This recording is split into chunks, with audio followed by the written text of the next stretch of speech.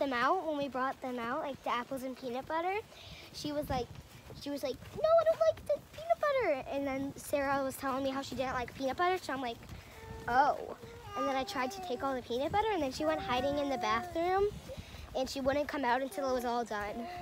And then she Oh, was like, remember you said. and then she wanted she wanted us to rewind the whole entire Mario thing so she could see it because she was gone for like so long. No, remember in the you bathroom said, crying. No, remember you said that you said that you were Listening to your daughter's stories. Basic dad stuff.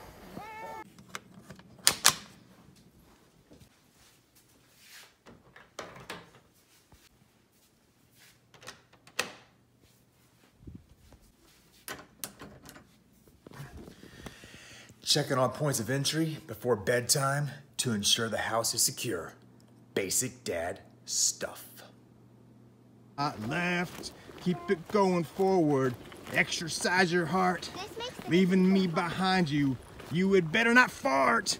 Left, left, left, right, left, left, left, left, right, left.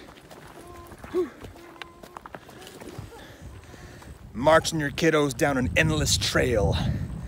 Basic dad stuff. All right, pop quiz. Who made the safety gun laws? Jeff Cooper, Bam! Who's the best basketball player of all time? Michael Jordan, and Oh, Kobe Bryant. The And Kobe, or Michael and Kobe. Nice. Um, what is Colossians 3:20? Children obey your parents. This pleases the Lord. And last of all, what are the four most important safety rules for firearms? Never keep your finger on the trigger unless you're ready to shoot. Always make sure you know what's behind the target. Don't shoot something you don't want to destroy, and always shoot the gun like it's loaded. Oh, bam! Pound it, pound it, pound it, pound it. Bam. That's some basic dad stuff for you right there. Oh yeah.